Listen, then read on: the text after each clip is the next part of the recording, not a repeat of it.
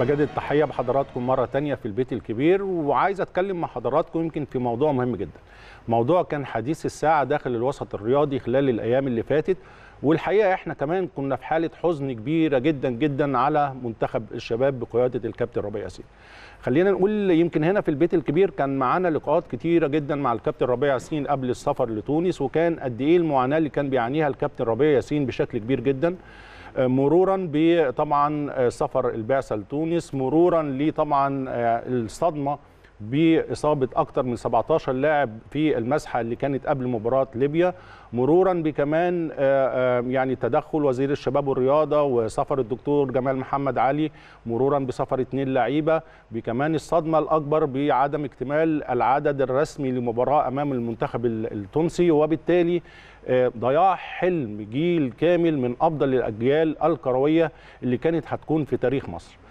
بلغة الكورة كده بتتسرح بشكل غير طبيعي. المنتخب يعني بعد إصابته بفيروس كورونا في هذه الدورة خلاص ما فيش منتخب شباب وبالتالي هذا الجيل اللي إحنا شفنا الولاد قد إيه كانوا بيبكوا قد إيه كانوا بيعيطوا قد إيه بيقولوا لأ رغم الموقف صعب اللي إحنا متواجدين وهنكون موجودين عايزين نكمل البطولة عايزين نكمل مشوارنا عايزين نكمل حلمنا.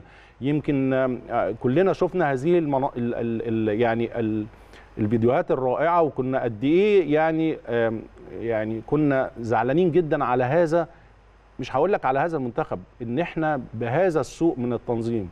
وإن الكابتن ربيع ياسين اشتغل ثلاث سنين وإن الكابتن ربيع ياسين بيعد جيل كامل من اللعيبة اللي نفسها تمثل مصر وتشوف مستقبلها.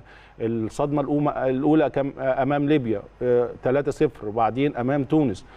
عايزين يا جماعة نعرف بصراحة يعني مين السبب ومن المسؤول عن هذه المهزلة؟ مهزلة خروج منتخب الشباب وضياع حلم كامل يا سهام جيل كامل ضاع الحلم بالنسبة له من خلال أنا في اعتقادي ومن رؤيتي الشخصية اولا تجاهل واضح جدا جدا من اللجنة الخماسية في إعداد الفريق في السبورت الكابتن ربيع ياسين.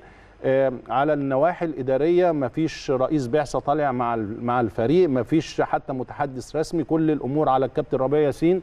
الجزء الأخطر كمان ظهور المشكلة. وبعد ما بتظهر المشكلة بنحاول نحلها.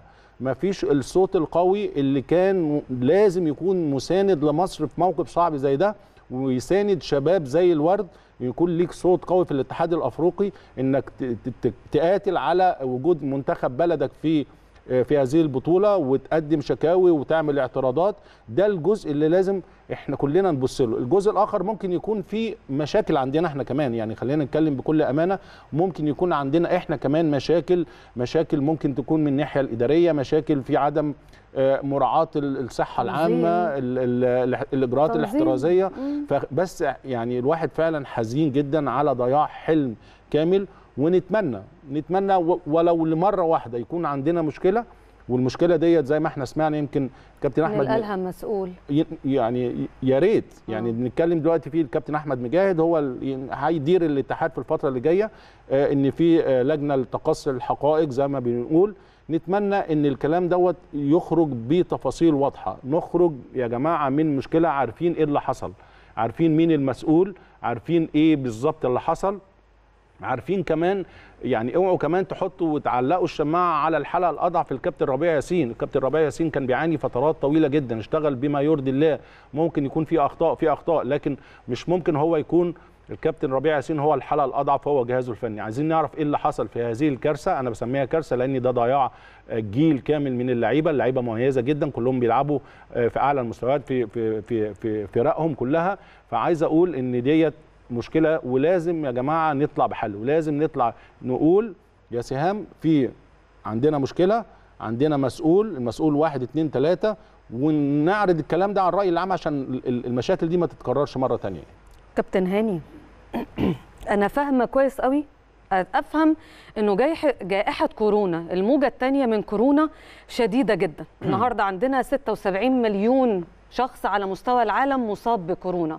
أفهم إن إيطاليا النهارده عملت حظر شامل وفرنسا وإنجلترا ودول كتيرة قوي. وأفهم اللي انت أفهم من اللي أنت قلته إن إحنا عندنا أخطاء بالجملة بتتحملها جميع الأطراف. بس اللي أنا مش فاهماه جدا في القصة دي بقى بالذات إن إزاي واحد زي أحمد نبيل ده شاب في منتخب مصر للشباب يعمل مسحة بالليل في تونس تطلع سلبية الصبح تبقى إيجابية بقدرة قادر. ما فهمش إن أنت النهارده يعني تقول لنا إيه اللي حصل بالظبط إيه اللي حصل من وقت اقلاعك بالطائرة لنزولك اللي حصل ده بالتفصيل. مين النهارده يقول لنا اللي يعني مين يشرح لنا بالتفصيل إيه اللي حصل؟ علشان إحنا نقول المسؤولية دي والله يتحملها هاني رمزي. تتحملها سهام مين يرد علينا؟ كله بيتكلم وخلاص. فاللي أنا عايزة أقوله بس لحضراتكم في الجزئية دي تحديدا إحنا النهارده عندنا الاتحاد المصري قدم شكوى عن طريق جمال محمد علي. جمال محمد علي ده اللي كان رئيس البعثة في تونس. مصر للشباب. دي للاتحاد الأفريقي بسبب إن أحمد نبيل الشاب ده اللاعب الصغير ده مسحته لم تعتمد. يعني بالرغم من سلبية. آه فأنت النهارده عندك لاعب إيه اللي حصل؟ يعني إيه اللي حصل؟ ليه نعتبر خسرانين من من تونس؟ ليه نعتبر خسرانين؟ مع إن إحنا عندنا اللعيبة أو عندنا العدد الكافي من اللعيبة عشان نعمل نكمل الماتش. أكيد يعني في تفاصيل وفي يعني أشياء مش مظبوطة في مجاملات في كالعادة. أنا أنا مش عارفة إيه اللي إحنا عايزين حد يرد. يعني والله العظيم بجد إحنا عايزين حد يرد. زي ما اتعودنا من الكاف يمكن في مجاملات خلال السنوات اللي فاتت.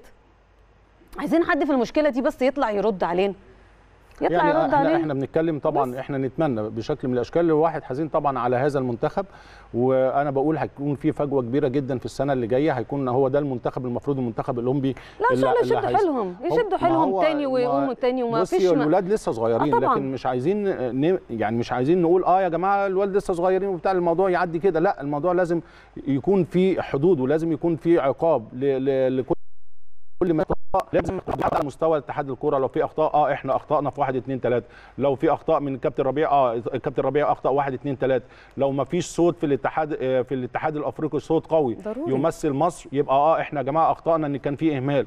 لو ما كانش رئيس بعثة متواجد من الأول خالص مع المنتخب يكون ليه صوت موجود على الترابيزة من الأول خالص لازم نقول الكلام ده كله حصل ليه. فخلينا يعني إن شاء الله بإذن الله تكون آه، يعني ال- الوقفة ديت كمان إن شاء الله للفترات اللي جاية يكون في نتعلم من أخطائنا. ولكن أنا عارف إن الولاد إن شاء الله هيعدوا المرحلة دي كلهم ولاد لعيبة كويسين. هيقضوا إن شاء الله آه، يعني إن شاء الله بإذن الله يكونوا هم كمان لسه جاي لهم المنتخب الاولمبي يحققوا احلامهم يا رب أحلامهم. يا رب. في إنجاز كمان مصر جامد جدا حصل يمكن ال social media. قصص كفاح آه، النهارده. يعني صور النهارده منتشرة ما شاء الله في ال social media البيج رامي فخر عرب حقيقي اسمه بيج رامي. النهارده رامي السبيعي بيتوج بلقب مستر أولمبيا للكمال الأجسام للعام الجاري. طبعا دي أعلى بطولات اللعبة للمحترفين. النهارده السبيعي بيتوج باللقب ده وحصل على ميدالية ذهبية وتفوق على آه، ثنائي أمريكي شهير جدا في اللعبة ديت. فطبعا آه، يعني يمكن النهارده بي- بنتكلم على إيه؟ بيحصلوا الاثنين دول تقريبا على ميداليات على مدة مدة سبع سنين آه، متتالية. تقريبا كان يعني. إنجاز كبير مم. جدا جدا. وزي ما أنت بتقولي بيج رامي قصة كفاح كبيرة جدا يا جماعة. قصة كبيرة جدا. الراجل تعب كتير جدا وأنتم عارفين بره الكورة شوية الألعاب الفردية لازم الناس بتقوم بمجهود أكتر ويعني أكتر من رائع وبيكافحوا كتير جدا مع نفسهم. ده مثال ودرس لكل واحد. لازم لازم يقاتل على حلمه. يمكن اللي بيحصل أو أو الجائزه ديت كمان عايزين نهديها كمان للولاد بتوع منتخب الشباب. تمسك بحلمك تمسك بأملك كافح اتمرن وإن شاء الله ربنا هيكرمك. زي ما شفنا آه، بيج رامي آه، بيمتلك يعني دلوقتي ما شاء الله على ال social media. آه، آه، يعني لعب رامي قبل كده في بطولة مستر أولمبيا سنة 2013 احتل المركز الثامن وبعدين في 2014 المركز الثامن 2014 الخامس 2015 خد المركز الرابع و2016 كان ح- دخل البطولة وحصل يعني عايز أقول لك من من أربع سنين متتالية كل كل سنة بي- بيزيد. يعني المركز سابع سادس خامس رابع والنهاردة أصبح أول مصري بيحصد هذا اللقب بشكل كبير جدا. فده كمان بنقول له ألف مبروك ألف مبروك لمصر الأول آه، دي ميدالية للتاريخ. وكمان مثل يحتذى به كتير من شبابنا يعني يعني نقول لك مبروك تاني ومبروك لمصر كلها. مبروك لمصر كلها. إحنا خلصنا أخبارنا المحلية وإذا كان يمكن فيها برضو أخبار يعني خبر عالمي يخص رامي بس صحيح. عندنا أخبار نبدأ من نجمنا محمد صلاح من أخبارنا العالمية. يعني في تقارير إعلامية النهارده أسبانية تحديدا بتكشف إنه صلاح لاعب ليفربول. طبعا النهارده بيخطط للرحيل عن ناديه بنهاية الموسم. اللي جاي وإنه الواجهه المقبلة ليه ممكن تكون ريال مدريد. النهارده صلاح هو اللي بيثير الجدل ده بتصريحاته وبحواره مع صحيفة آس الأسبانية اللي قال فيها تحديدا لا أحد يعلم المستقبل حينما سئل عن انتقاله طبعا لريال مدريد أو برشلونة. النهارده يمكن موقع ديفينسا سنترال النهارده نشر إنه أحد المقربين لصلاح أكد ليه إنه ريال مدريد بيتواصل فعلا مع وكلاء أعمال جناح ليفربول المتميز محمد صلاح وإنه في اهتمام كبير جدا من جانب حامل لقب دوري الدرجة الأولى الإسباني في إنه يحصل على خدمات صلاح ويبدو إنه صلاح موافق يعني أو على رأس كمان أولويات فلورنتينو بيريز رئيس الريال واللي بيعتبره الحقيقة من أفضل لاعيبه العالم ففي طبعا يعني تقارير زي ما قلنا لحضراتكم بتتحدث إنه صلاح نفسه مقتنع ومنفتح على الفكرة على إمكانية إنه يرحل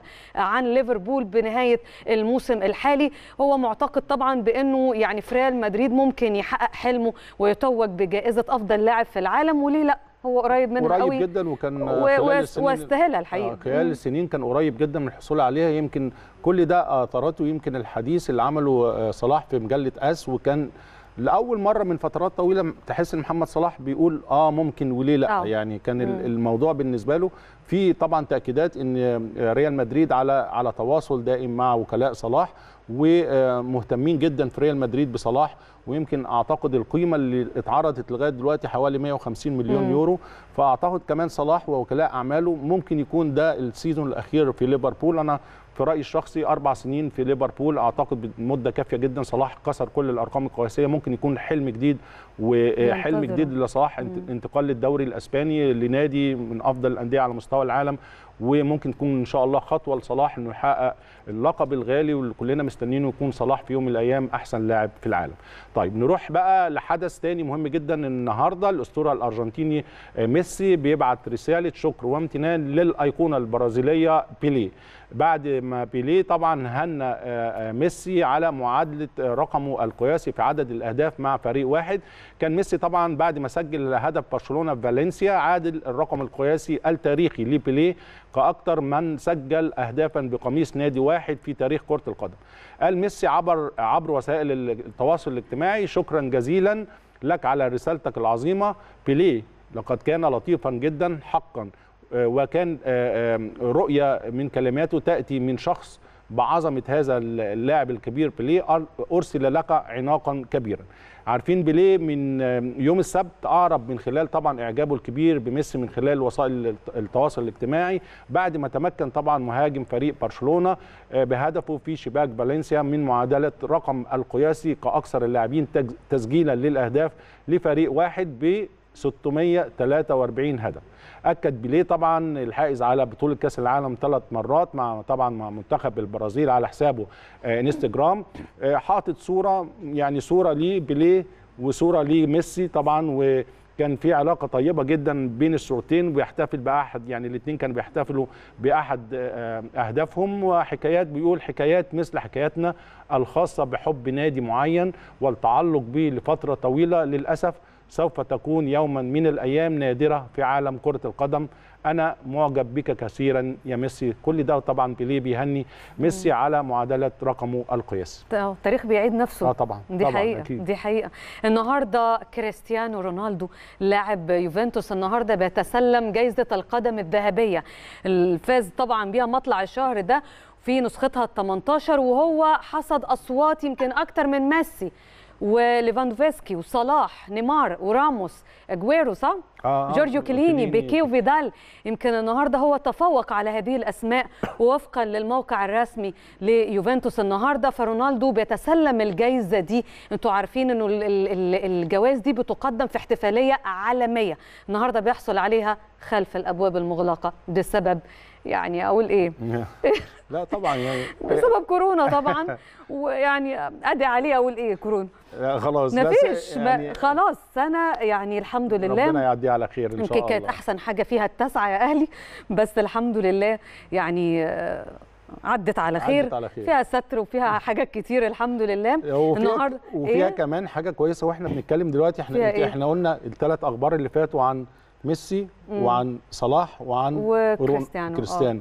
نتكلم مم. على ثلاث قامات. لو الناس بترجع بس بذاكرة كده يمكن خمس سنين أو ست سنين لورا مين كان يتخيل إن ممكن واحد لعيب مصري يقارن برونالدو وميسي؟ دلوقتي محمد صلاح بيكسر هذه الأرقام. قريب. مين يتخيل إن مم. كان في يوم من الأيام واحد مننا من وسطينا يطلع ويرشح لاحسن لاعب في العالم؟ مين يصدق الكلام ده؟ كل دوت يا جماعة إحنا بنتكلم دوت عشان تكون رسالة حتى للأولاد اللي سامعيننا. طموحك وإصرارك والعمل والالتزام هي دي سمة صلاح. فبإذن الله كل التوفيق لمحمد صلاح في مشواره إذا كان هيروح ريال مدريد أي نادي إن شاء الله متأكدين إن هيحقق نتائج أكتر من رائعة. وبإذن الله ده كمان زي ما بقول لكم مهم جدا إن صلاح يكون أمل للولاد اللي جايين والأجيال اللي جاية إن إحنا عندنا كمان مواهب وعندنا لكن الإصرار والعزيمة والعمل هو دوت الثلاث حاجات اللي ممكن توصلك للنجاحات الكبيرة. اللي اللي تخلق ألف صلاح. صحيح، اللي صحيح. تعمل ألف محمد صلاح في صحيح. كل حاجة يعني. إحنا لسه بنتكلم على رامي. طبعا. هو فخر جديد لمصر وللعرب كمان. أكيد. فقرتنا خلصت. بعد الفاصل هنستقبل الكابتن الكبير حكيم شاكر في البيت الكبير.